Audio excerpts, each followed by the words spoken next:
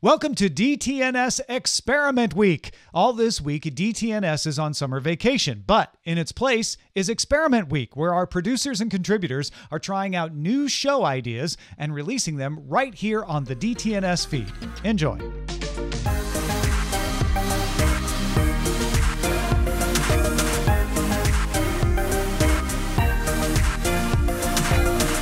Welcome to Tech TV Scrapbook, the podcast that talks to the people and personalities who made the Tech TV network such an innovative and forward thinking channel. My name is Roger Chang, and I'm the host of the show, and I was also a former producer at Tech TV. When Tech TV launched back in August of 1998 as ZDTV, it was positioned as a 24 hour cable network devoted to computers, technology, and the internet. As part of that mission, two help and how to shows were created the Screensavers and Call for Help. The Screensavers focused on a more tech literate audience that saw technology as both a tool and a hobby. Call for Help focused on users who were either computer neophytes and needed more help, or they were people who used technology purely for business and work. Eventually, Tech TV became G4 TV, and during that transition, the Screensavers was transitioned into the show known as Attack of the Show, whereas Call for Help went off the air or so it is commonly thought. In fact, Call for Help migrated north like geese uh, to Canada, where it was part of the G4 Tech TV Canada network. Um, I have with me, with great pleasure, Jenn Cutter, because you happen to work at Call for Help Canada. Now, I guess the first question I should ask you is how did you start? How did you get in the door uh, into uh, Tech TV Canada? And more importantly, how did you get on Call for Help? Uh, they are one and the same story, and it's kind of a, it's a huge snowball. It's kind of ridiculous.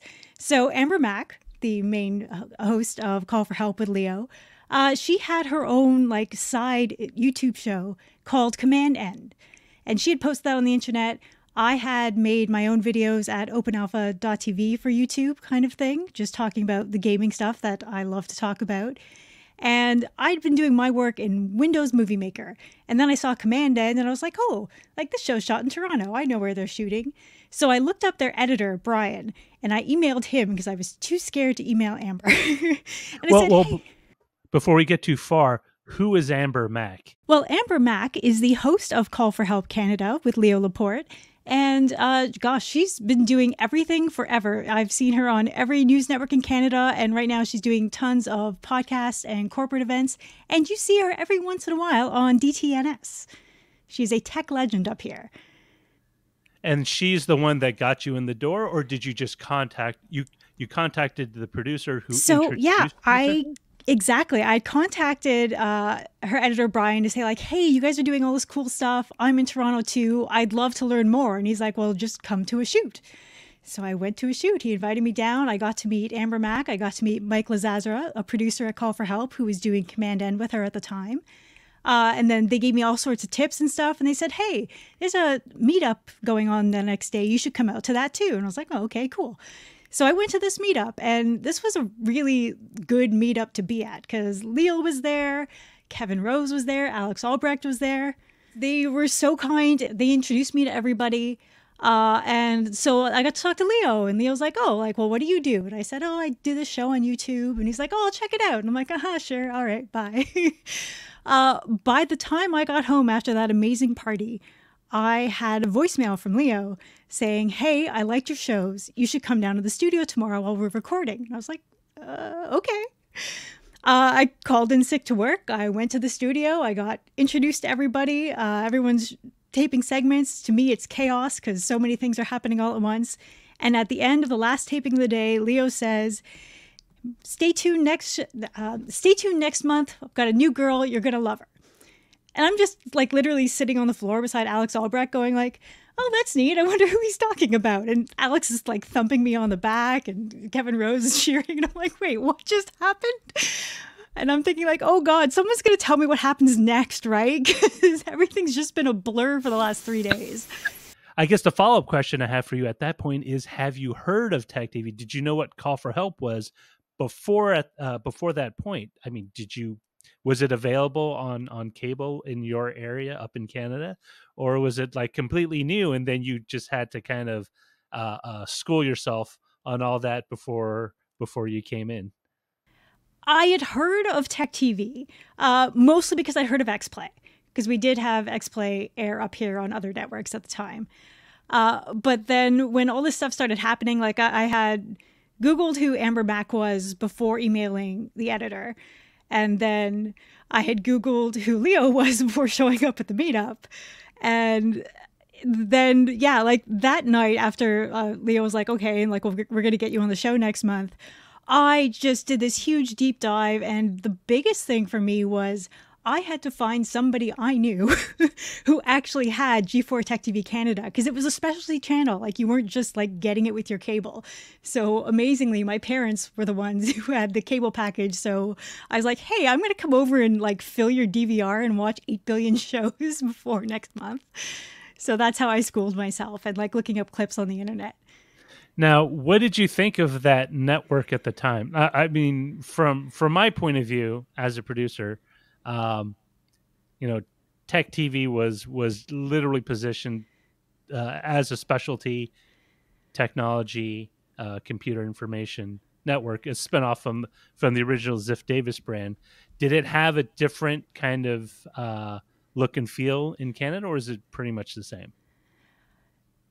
The studio for Call for Help is smaller than half of my basement. It was the tiny, I don't know how they managed to fit three desks and three cameras and all of those lights and all of it. It was in the Omni building, which isn't going to mean anything to anyone outside of Toronto, but Omni is this multicultural network in Toronto and Southern Ontario. And it's like they had to move other shows stuff out for us to use the studio for the one week a month that we did. So I was really shocked that this set that actually looked really good on TV was so tiny. it was so, so small.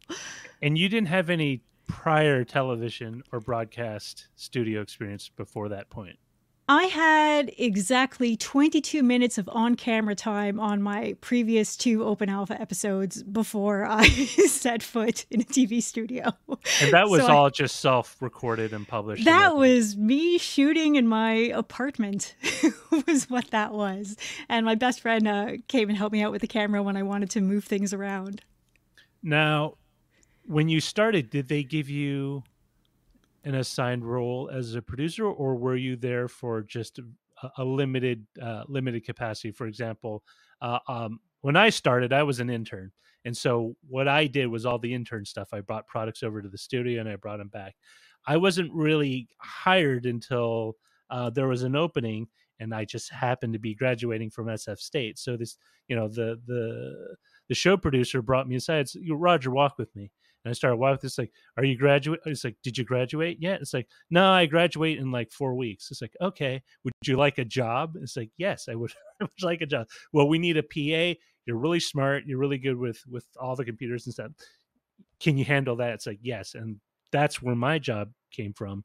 Was yours kind of similar, or were they like, you're going to be doing gaming, you know, do gaming stuff, or was there uh, um, a more in-depth kind of a or, or uh, not in depth, but a more calculated plan for you uh, into the into the show?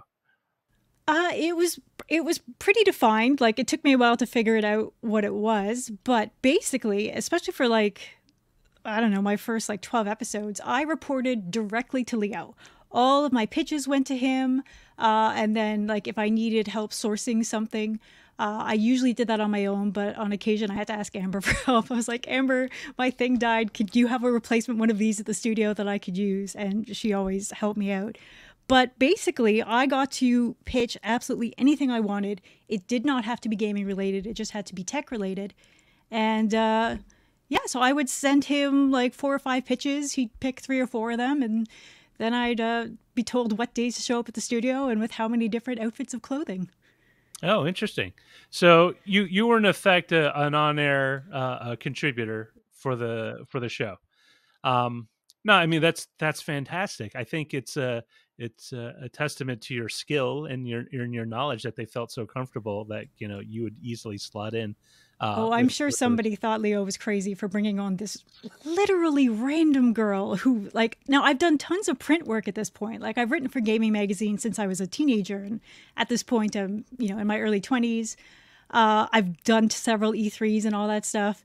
But TV, like, nobody ever looked at me and said, you know what, that girl needs to be on camera. I mean, it's it's such an unusual experience, and I, I'll interject my life story in here just as a just as a p- comparison and contrast. You know, I come from a broadcasting background along with Sarah Lane. We actually graduated together from the same school. In fact, much of the studio crew and, and a lot of the producers at ZDTV, when it was originally ZDTV, also came from the same school. And so it was a very weird experience to go from a classroom. It's like, hey, my job also has the same people in it. Um, and you know as a pa a production assistant when i when i started working my role specifically was to ensure that the set machines were working that all the stuff needed for that day shoot was there whether it was a, a gadget a product um, or you know basically uh, bookmarking the urls web pages making sure they were all loaded preloaded pre-cached so they you know when leo or or one of the other hosts uh, clicked on a link uh, and I will make a side note here. I actually had to do both screensavers and call for help, so I was involved with both shows uh, from the very beginning. Um, you know, I had to make sure all that was set. It was also my job to make sure that the set stayed, you know, workable. That means all the set computers, the lighting. If there's any issues, I would, you know, if it was lighting, I would let the studio crew know. It's like, hey, I need a new bulb uh, for this uh, for this set. Um, but that was my my job, and I also doubled as a, a, gopher. So if someone needed something, I would either drive out and get it, or I would run out on foot and grab grab it at the local safe Safeways. Um, so I mean, it's a very it's a it's a very interesting uh, dichotomy between your experience and mine. Um, I had I worked with uh, two producers on screensavers and two producers on Call for Help, and I also worked with Leo, who was managing editor at the time. So all the questions, anything to do with any of the content on the shows passed through Leo because he had the final say on whether it made it on air. Um, with screensavers, uh, some of that workload was split between him and uh, Kate Botello, who's uh, the original co-host uh, for the screensavers. Uh, but for Call for Help, Leo was solo, and so he, you know, run it by him and this is this is very interesting. We would give him the questions that we wanted to use for the week the Friday before, and he would go over on the week uh, weekends. He would just go over them and. on his commutes he would use a little uh, uh, he would use a little dictaphone and he would just record his answers and that was one of my jobs was to trans uh, uh not transmute uh, um, uh, transcribe all those tapes into like actual you know into, into actual uh, script content for the show. I would work with the producers said this is what leo says. This is probably what we need. My job was to double check what his answers were and if they were slightly different or there was another better answer i was supposed to uh, slot that in. Yeah i'm like looking back it's kind of ridiculous the amount of trust i was given because obviously television uses teleprompters and I was allowed to write for Leo basically like here are the questions that you need to prompt for this next segment and they let me write that stuff which was really cool. I know you keep in contact with Amber Mac. Yes. And are there any other people you kind of regularly keep in touch with from your uh, from your days back then? I should do a better job of reaching out, but one person I do keep in contact with and actually ended up working with after Call for Help is Steve Saylor. Uh, he, uh, you may know him by his old gaming nickname Snowball. He's a Twitch streamer. He works on uh, accessibility in gaming. Uh, he used to run the teleprompter for Call for Help for a season or so. And then he ended up producing a uh, show that I did with Darren Kitchen of Hak5 called The War Room. We did this old school World of Warcraft radio show. um, but also, I want to shout out Sean Carruthers, who I feel like basically was the main producer. Anything else I had to do on the show, I ran through him. Uh, Sean Carruthers, amazing, amazing guy, same skill set as you. He made sure everything works. If I ever had a problem with anything, he took care of it. Uh, Mike Lazazzera, another fantastic producer. Uh, Leo was amazing. The camera crew was so sweet. Uh, I, I, feel like I will give a special shout out to Bear. Uh, let's see. Oh God, there were so many people. I, was, I wish was Bear I took a more. camera pic- person. Bear was a camera person. Okay. Yes. Bear I'm just was- making sure was it wasn't sizable like a literal bear that they kept around. The, Oh no, we mean, didn't have the yeah. room for it. But uh but everyone was really sweet and teaching me the basics like, yeah, so we're to shoot this, but we need you to stand on this box. And I'm like, "Why?" it's like cuz you're short and you need to be taller next to Leo. And then there was a whole discussion like the first day it's like you need to go put on a different sweater because we can see your belly button and i'm like well you couldn't a minute ago just let me not stand on the box and it's like yeah well we can't do that go go put on a sweater it's like oh fine um what else what else oh it was so cool the studio was on the lakeshore too so it was always such a lovely drive getting up there uh and so yeah so after that first year uh in order to lighten Leo's load a bit, I was handed off to another uh, segment producer called Mohit. And Mohit was a guy I pitched all the rest of my stuff to for the last bit of the year. And I think that's all of the main people that I dealt with on a daily basis because our shooting schedule was very different from yours. Because you guys, what did you guys do? Did you guys shoot like every day? Every day. Every day. Every day. I, I understand, and the only reason why I know this is because I talked to Leo about this because he was asking me questions initially. Um, because it involved because of CanCon or Canadian content rules, Leo could never be the host of the show, so he was just a perennial guest. Um, and so, but they had to gang shoot all the episodes, so he would be up there for like a. When I say up there, he would be up in Canada, like fly up from the San Francisco Bay Area to Mhm. Toronto, I think, uh, and and shoot like a within a week or two weeks uh, of like all the stuff they would need for the following month or so. If I if I- I understand that correctly. yeah, um, I picked him up from the airport once or twice. He would fly into YYZ in Toronto. So wait, Um, you were also like the chauffeur. Well, I lived like literally next to the airport. So technically I had volunteered. I was like, okay, if you ever need a ride from the airport, I'm like Wait, literally down next the, to the street. airport. I hope you got a discount on your uh, rent. No, like you honestly you, you you don't hear the planes after a while. It's it's when the planes stop that you notice something's wrong. It's too quiet. It's too quiet. Um yeah, so there was always one week a month where Leo would fly up and we would shoot three to four episodes a day, which is why I was told to bring multiple sets of clothes. So that if I shot like first show in the morning and the first show after lunch, I could, you know, change my shirt and pants and stuff.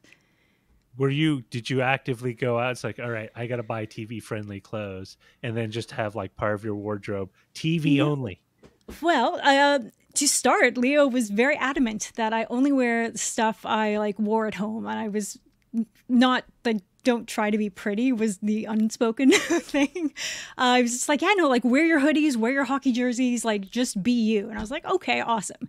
And then we did like one press event in the states, and he's like, maybe bring a girl shirt. I'm like, okay, I can do that too. I mean, no, that's great. At least on screensavers, there was definitely a, a desire to make it feel very casual, to make it feel like you know the the set was designed to look like someone's basement. This is where you hang out. This is where you work in your your technology. And I know with Call for Help, they were trying to make it feel more like a home office. So a lot of the colors, a lot of the if you look at Leo's wardrobe, tended to be more business casual, right? So you had soft warmer color. It was very, uh, it was a very very you know conscious effort and i'm glad to hear that like when they did it moved it to canada uh, they weren't so hung up on you looking or dressing in a very specific way Yeah, I, I had so much freedom. Like I'm looking back and at the jobs I've had since, it's like, wow, I really, I really got lucky with my first camera experience. was there one or or maybe a handful of episodes that stand out in your mind the most like when you think of your time there it's the the thing that pops in your head immediately Um, let's see. Well, like the the StepMania episode where I was showing people you could play DDR on your PC or laptop. That show was fun and chaotic because, uh, yeah, like I had everything tech that could have gone wrong went wrong, and I had Amber and Sean Carruthers helping me out with like parts to put this together, and I, I like nearly had to solder part of my pad because it did not like being shoved in my car and then dragged around the studio for a while to get that working. So it was a lot of like fly by the seat of your pants stuff. But um, I really loved watching everybody else work. I learned so much from seeing how calm they were. And call for help. I don't know if this was the same for you guys down there, but we were live to tape.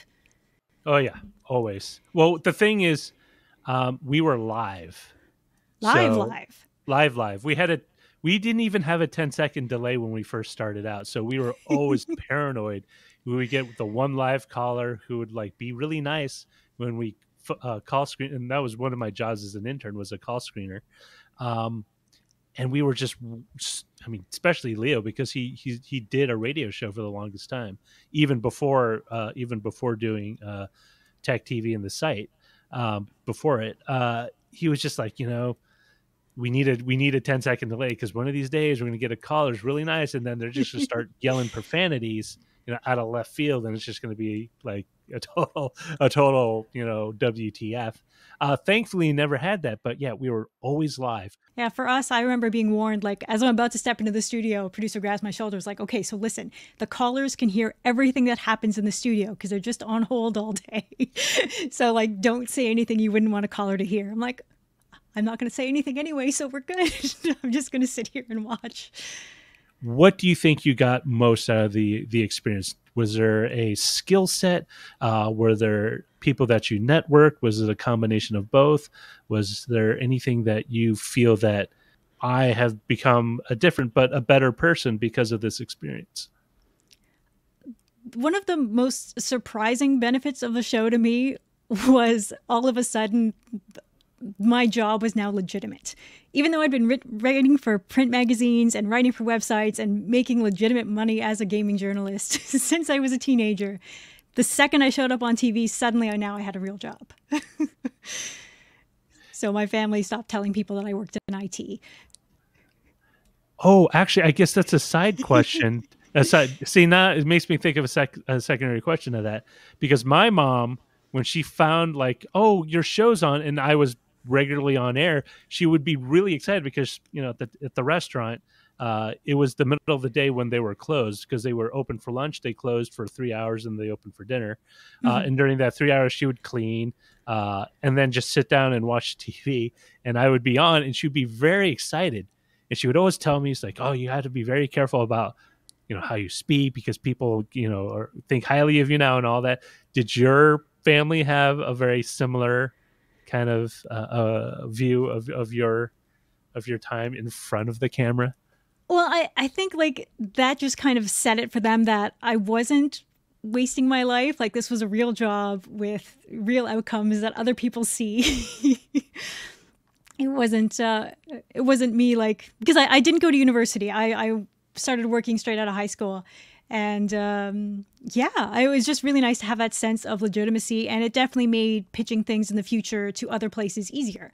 And then other news networks started calling me. So, like, CP24 was like, hey, there's a Nintendo event. Can you do a hit for us? And to be like, yes, I will send me a cameraman. I'll show up and do that hit. So I got to do stuff like that. So I showed up on CBC once and CP24. And then, yeah, I think it was after that because I had done E3 for many, many years. And then uh, at the launch of the Nintendo DS, TV Tokyo came up to me and they're like, hey, you you speak English? Do You want to do a thing with us? And I'd be like, okay, sure. So I showed up on TV Tokyo for a couple of segments. That was really fun. And once you could say that, oh, you've been on TV, uh, it made a huge difference. And it really, it, I'd say it widened my fan base not so much in Canada, because very few people in Canada seem to have the network, but because we had a lot of international deals, all of a sudden I started getting all of this mail from Australia and some from the UK and a lot from the United States.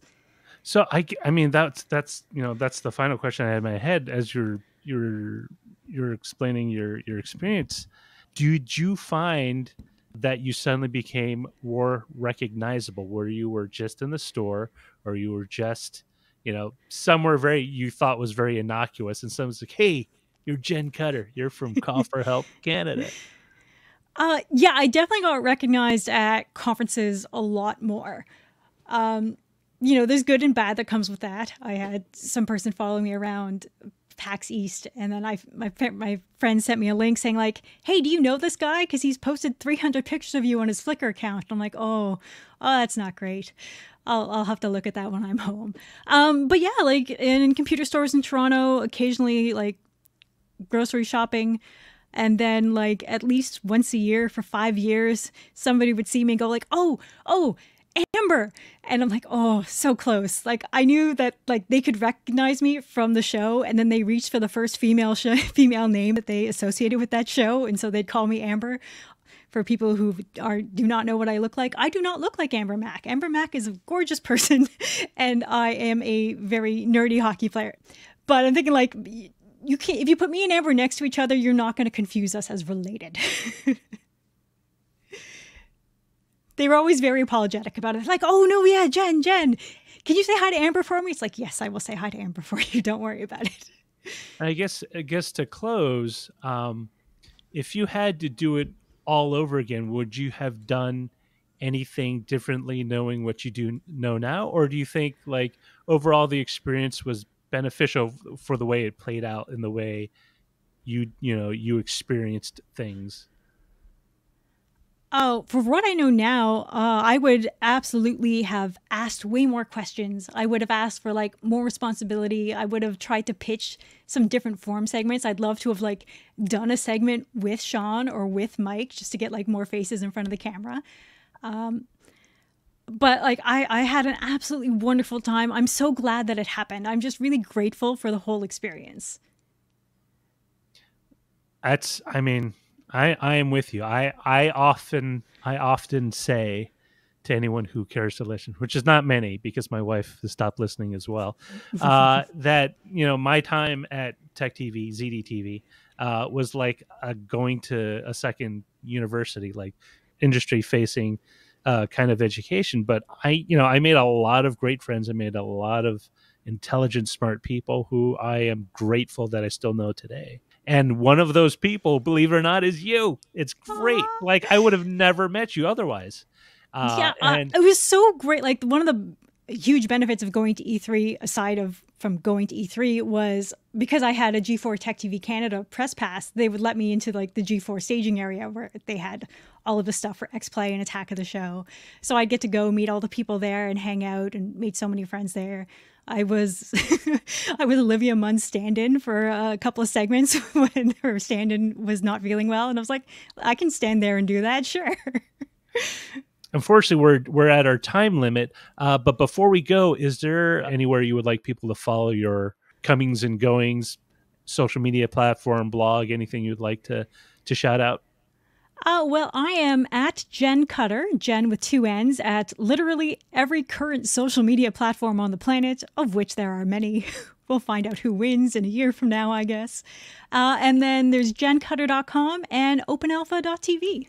All right, that's it for this episode of Tech TV Scrapbook. And if you'd like to hear more stories from behind the scenes of ZDTV Tech TV from the people who work there, email me at feedback at dailytechnewsshow.com.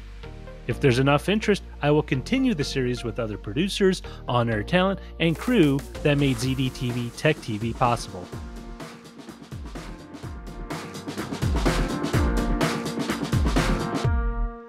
Hey folks, Tom Merritt here again. That's it for Experiment Week. Thanks to all the contributors who made these great shows. We hope you enjoyed it.